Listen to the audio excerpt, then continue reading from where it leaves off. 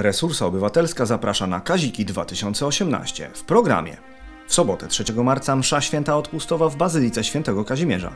W resursie otwarcie wystawy pod tytułem Nowy poczet władców Polski, świeży kontra Matejko oraz koncert finałowy muzycznych Kazików.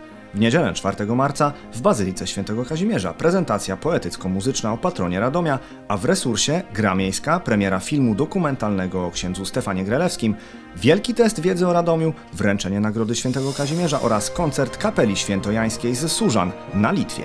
5 marca wykład z okazji 550-lecia Fundacji Klasztoru Bernardynów w Radomiu. W niedzielę 11 marca 11 bieg Kazików. Szczegóły na plakatach oraz stronach internetowych Radomia i Resursy Obywatelskiej. Patronat honorowy objęli biskup ordynariusz diecezji radomskiej, prezydent miasta Radomia oraz przewodniczący Rady Miejskiej. Współorganizatorem Kazików jest Senat Rzeczypospolitej Polskiej.